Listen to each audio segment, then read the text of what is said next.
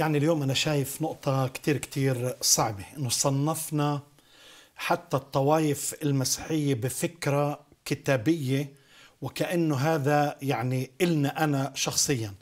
حضرتك من الكنيسة الرسولية كأنك تمتلك الروح القدس هو تابع للكنيسة الرسولية أو كنيسة معمدانية بتركز على على المعمودية أو كنيسة تاريخية اللي بتركز مثلا على التعليم ولكن أيضا يعني كأنه العذراء هي من نصيبهم. يعني فصار كل شخصية أو كل عمل أو كل شيء كأنه من نصيب طائفة معينة. وإحنا بننسى الفكر الكتابي هو الفكر المتكامل المهم في الكنيسة جسد المسيح في الكنائس المحلية سواء كانت كنيسة في في فيليبي ولا في أفسس ولا في آسيا الصغرى ولا في مصر ولا في فلسطين؟ يعني في كنايس ولكن الروح واحد. اعتمدنا لجسد واحد وسقينا. روحا واحدا نعم. نعم. لا، الروح القدس مش لكنيسة معينة. لا. ولا لمجموعة معينة. ده كلام غير حقيقي. روح القدس للجميع. ولما انسكب الروح القدس يوم الخمسين سكب على الجميع. نعم. و و وكل لغات مختلفة موجودة ونوعيات مختلفة موجودة.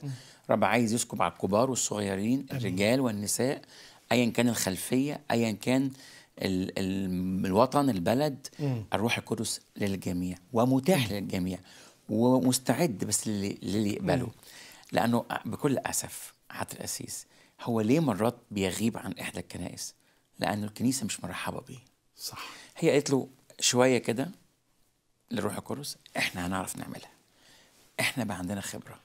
الإكستريمز. يا. في ناس أغلقت على الروح القدس في صندوق يا. وفي ناس يعني شوهت فكرة الروح القدس بالتطرف الآخر. يا. إحنا محتاجين الفكر الكتابي في هذا الموضوع لأنه محتاجين الروح القدس. Yeah. يعني أنا لما أجيت للإيمان أنا اكتشفت أنه استحالة.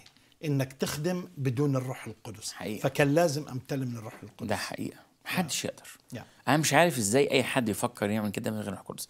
يعني أنا مش عارف إزاي. فعلا بجد صعوبة.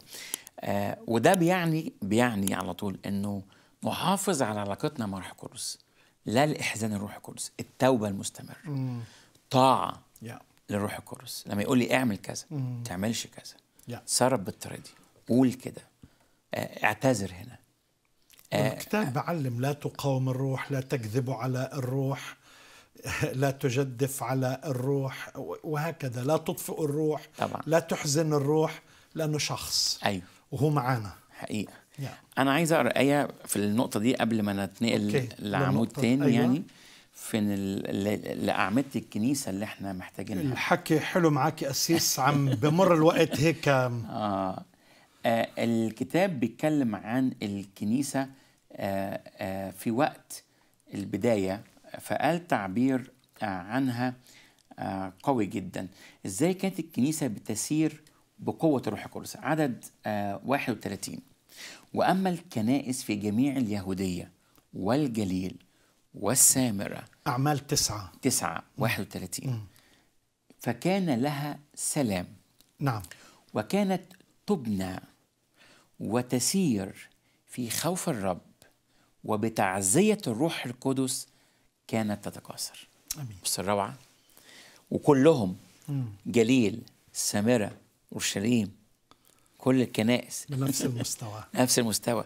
كلها بتسير في خوف الرب وبتعزية الروح القدس كانت بتزداد وتنمو. دي رسالة لينا. أكيد. دي رسالة لينا. لا. لا تقاصر ولا تعزية ولا انطلاقة ولا حياة ولا بركة للكنيسة بدون أن نمتلئ بالروح ونخضع لقادة الروح ونسمع للروح ونتحرك ورا الروح. وده مفتاح رهيب. هياخد الكنيسة من حتة لحتة تانية. آمين. ويا رب فعلا يحركنا مثل ما حرك الكنيسة الأولى و... ونمتلئ من روح الله يا وتدوب الأنانية وتدوب الانقسامات وتدوب. هاي كنيسته وهي كنيستك كلياتنا نركز على يسوع المسيح